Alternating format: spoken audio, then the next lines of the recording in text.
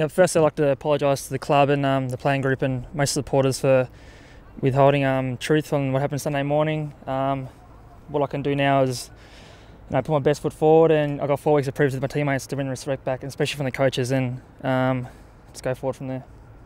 Which it looks like uh, Jeff might have uh, been knocked out and down on the ground. Can you just tell us uh, how you learned of Jeff's injury and what you did in the aftermath? You assist him, for example.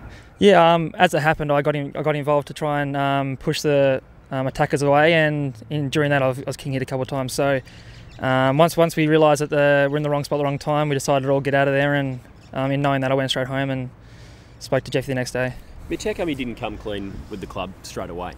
Yeah, I was worried about myself and Jeffrey's um, in, you know circumstances which probably would happen from it. Um, I wasn't too clear on what happened to Jeff, so um, yeah, it was a you know I've, I've definitely found out now I was in the, I was in the wrong, and um, all I can do now is apologise to the club and my teammates and stuff and go forward. But I've definitely learnt um, coming clean earlier would be a, would have been the best thing for the club. You're out of contract at the end of the year. You concerned this might affect your, your future at the Carlton Footy Club? Yeah, definitely. Um, you know the club's been fantastic with me for my six years I've been here. Um, we're in negotiations, so we'll, I will, I'll go back to the club next week and we'll talk about that. But as I said, I've got four weeks to try and put my best foot forward and you know prove to the club why I should be here and um, going forward. Last one.